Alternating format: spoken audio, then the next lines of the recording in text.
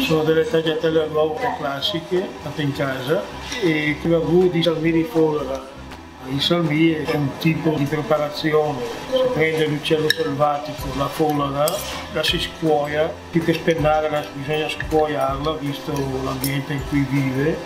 si legano interiore, si cerca di recuperare le frattaglie dal polmone, dal cuore, lo si mette nel vino di una certa gradazione e la marinata si mette il rosmarino, il ginepro, le carote, le cipolle, c'è del sedano, però eh, si abbonda in carote per rendere il salmì più dolce. Viene lasciato marinare per 3 o 4 giorni, dopodiché viene cotto nella sua marinata viene disossato, si cerca di salvare dei pezzetti abbastanza consistenti, il resto viene passato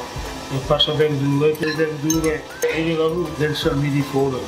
e si serve con dell'olio